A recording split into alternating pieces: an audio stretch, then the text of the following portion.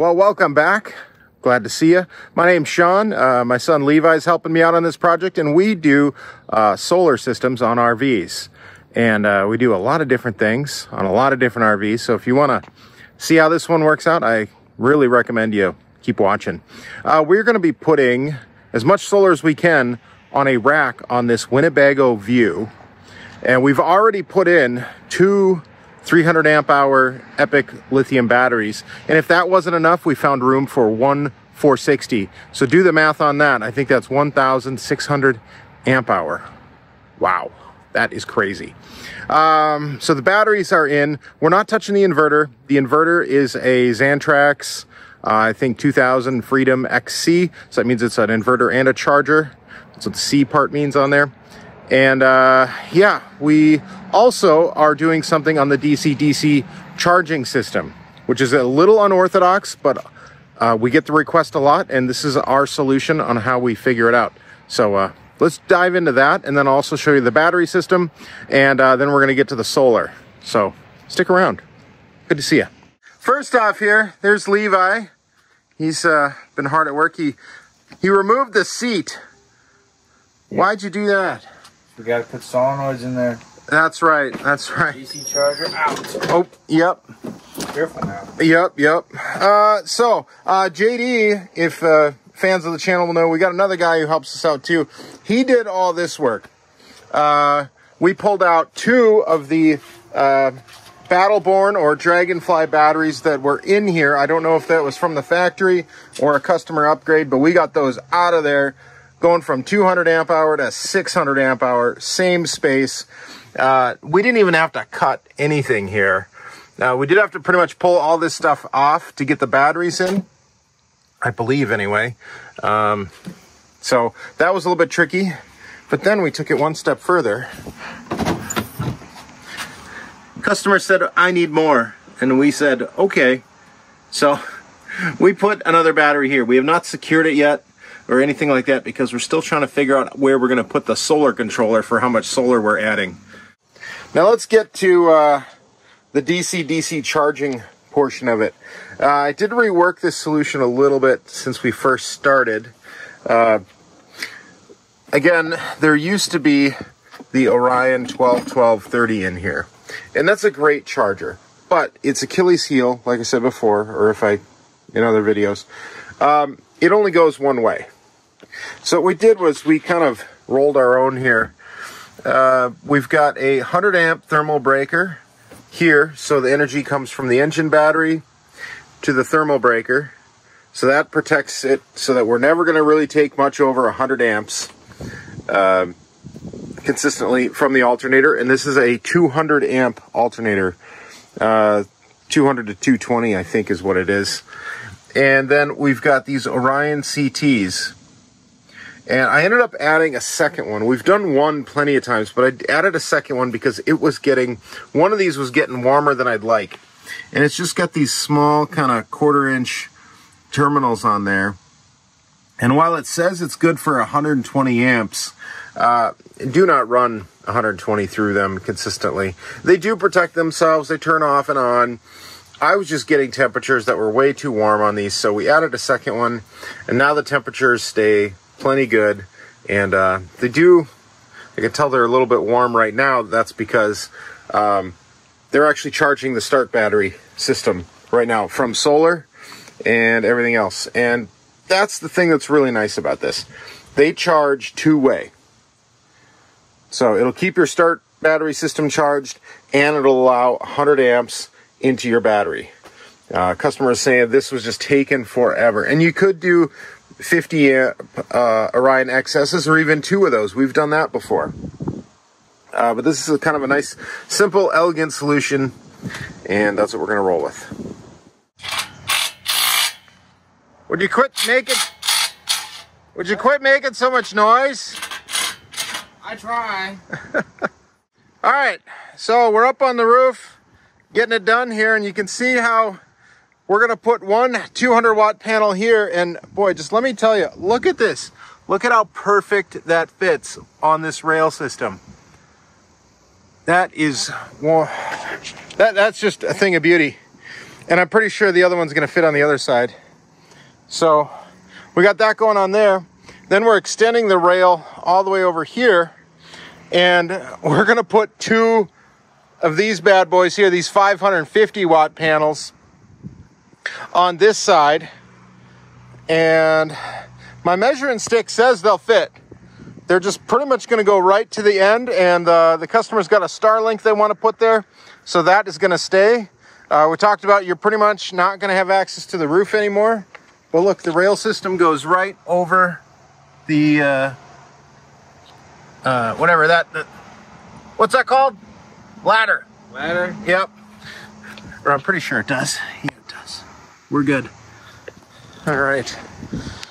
Oh, can you believe it's 85 in October right now? No. All right. We're going to get back at this. See if we can't get this up and done today. Oh, watch out. He's feeling it. All right. As you can tell, we've got the rails up and I've got some panels that are already starting to be put down. Uh, these are secure, ready to go.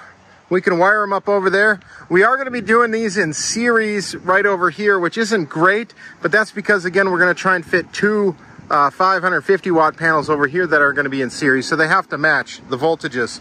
These are the uh, 24 volt, as uh, Rich Solar likes to say, uh, which confuses you even more if you're trying to do this at home. Uh, that runs actually at about a 45 volts or so. so uh, go figure. But uh, that's what we're trying to do. That's what the big, uh, those big giant panels, they typically run 45 to 50 volts. So that'll be a good match for these. Uh, anyway, I'm gonna take a look at how these are mounted, the rails. And I did modify these flash lock feet to support three fasteners. It's kind of hard to tell. Well, there you can see them a little bit. So I got three fasteners into each foot. I did hit the ribbing on some of them, but not all of them. But uh, I like to think that many hands make light work, or in this case, many fasteners make for stuff that doesn't hopefully fly off. But uh, the thing I want to talk about here is, I don't think, uh, how can anything fly off? Look at this, this is streamlined here.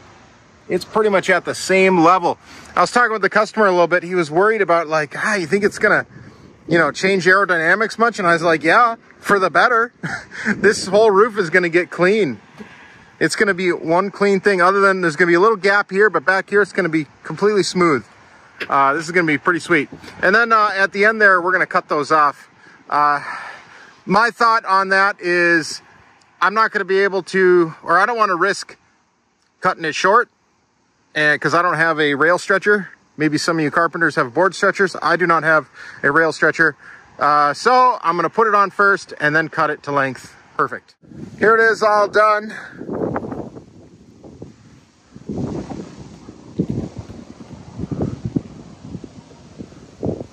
Got the ends trimmed, so that's in good shape now. And it's pickup morning. Sun's over there. All right, we're all about transparency here. We don't always do things perfect. I make mistakes. I made a mistake here, uh, and I realized it while I was testing the solar because uh, it's finally getting sunny out, and um, was like, "There's no power coming in to the battery monitor here on the wall, but I am seeing it on the app." And the reason is, I connected the uh, solar charger directly to the battery negative there. So the batteries are aware of the power coming in, but the shunt isn't. So I need to make sure my negative comes to this uh, negative ground stud here. So I've already got a two gauge wire run for that. And now I just got to swap that out over here. So if you're ever in a situation where your battery monitor isn't uh, as predictable as it should be. It's not showing the right current, the right uh, whatever, really. Uh, make sure all your grounds are uh, on the battery minus side of the shunt, not on the battery. It's really easy, really convenient. My brain just turned off. I was like, oh, this is going to be easy. I'll just connect it right to the battery. Easy peasy. Decisions have consequences, right? All right, got that connected in. Got it connected there, still got to take care of that negative there. But uh, yeah, now we got 12 amps coming in through the shunt, and that's about what we're getting on the solar charger. But uh, yeah, oh, look at that sun, it looks pretty. Just wish there was a little less clouds because then the solar would work a little bit better, but here's what it is.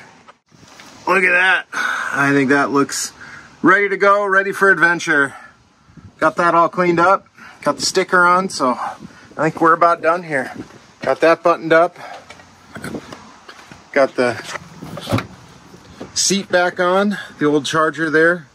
Customer can maybe pass that on to somebody else or use it for something else. We're all done now. Hey, there's Mr. Bear. He made an appearance.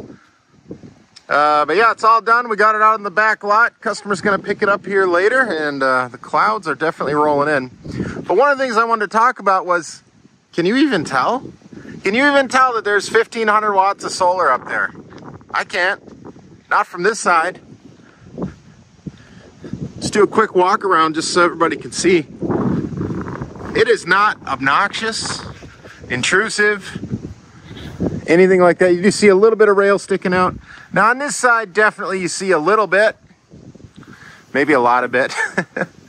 but uh, most people I find tend to care about camp side a lot more than uh, utility side. And that's the beauty with that awning. So you can take a look there. You really can't see much of it at all. I mean, again, on this side. Well, I think that'll do it for this one. Uh, thank you for watching. Uh, check out our website, sotasolar.com, S-O-T-A, S-O-L-A-R.com. That's short for Minnesota, but you can say it's short for whatever you want. I don't care. Um, and again, from all of us, myself, Sean, my son Levi, uh, JD, who is heading out to Quartzsite. Hey, oh, what's up, bud? Oh, Bear, Bear wanted to show you his stick. And from Bear, of course, yours. All right, I got some work to do over here, so I'll see you next time. Bye. Ow.